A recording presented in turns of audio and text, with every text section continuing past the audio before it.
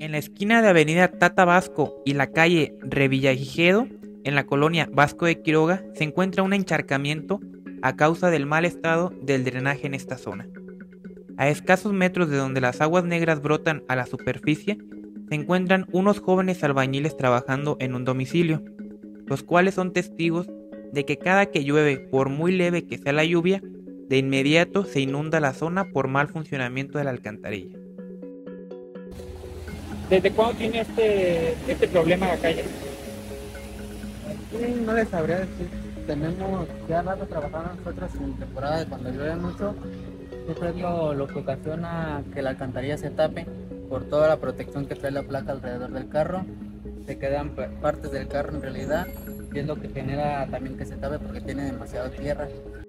Los trabajadores de la zona, sin tener ninguna obligación, han tratado de destapar el drenaje mediante picos, mangueras y máquinas extractoras de agua. Nosotros todavía antier estaba igual.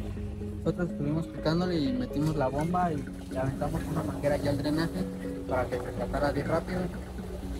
Porque tanto nos está perjudicando a nosotros como trabajadores como a la gente que pasa aquí alrededor.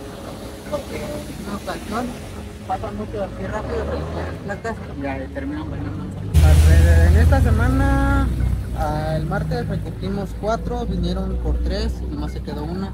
Una de protección se quedó el sábado y no regresó por ella. Esta, mire por ejemplo, ya vio, salió otra placa allí.